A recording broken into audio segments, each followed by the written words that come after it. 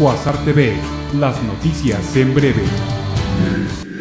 El vocero del gobierno de Michoacán, Julio Hernández Granados, confirmó que esta mañana un grupo de autodefensa de Tepalcatepec incursionó en la alcaldía de Cualcomán y retuvo a siete policías municipales que más tarde fueron liberados cuando arribaron elementos del ejército mexicano y de la Policía Federal. Rechazó que en el intento de tomar control del pueblo por parte de ese grupo se haya registrado víctimas. Negó que en municipios donde hay presencia de grupos de autodefensa hay ingobernabilidad.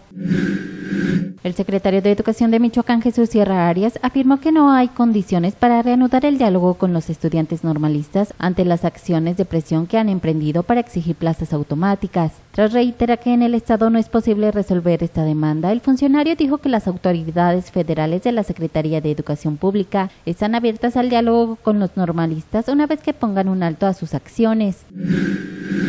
Tras una semana de ausencia obligada por las amenazas de muerte que afirma haber recibido el alcalde de Tepalcatepec, Guillermo Valencia Reyes, denunció que los grupos de autodefensa que operan en esa región, más que un problema de inseguridad, atienden a intereses políticos que están manejados por exalcaldes y exdirigentes del PAN y PRI, partido al que pertenece. Recargó que regresará a gobernar pese a los riesgos que enfrenta él y su familia. Integrantes del denominado Movimiento Indígena de Michoacán dijeron estar dispuestos a dar hasta la vida para apoyar a los estudiantes normalistas en su lucha para lograr las plazas automáticas y echar abajo la reforma educativa, aunque dijeron no estar de acuerdo con algunas acciones de los estudiantes, que han aprovechado la presencia de guardias comunitarias de las que aclararon solo hay siete reconocidas en Michoacán.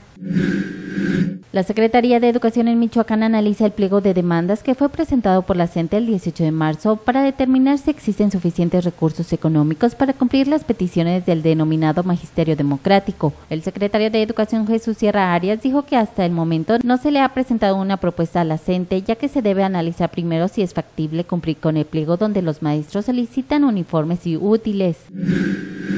El rector de la Universidad Michoacana, Salvador Jara, celebró que los más de 3.000 catedráticos de la institución hayan levantado la huelga ayer y manifestó públicamente su disposición de privilegiar el diálogo para evitar que se cierren las puertas de la universidad por conflictos sindicales o de otra índole. Así lo expuso durante la celebración del Día del Maestro en el Colegio de San Nicolás, donde fueron premiados 290 profesores por su trayectoria académica, entre ellos el líder sindical Lauro Chávez. Las universidades públicas no son empresas que ante el estallamiento de una huelga los trabajadores se van contra la autoridad como si se tratara de un jefe que debe resolverles de inmediato un incremento salarial, cuestionó el rector de la Universidad Michoacana, Salvador Jara Guerrero, ante cientos de catedráticos que ayer levantaron la huelga en la máxima casa de estudios. Durante la ceremonia del Día del Maestro celebrada en el histórico Colegio de San Nicolás, se pronunció porque se reforme la ley laboral sin lesionar los intereses de los trabajadores.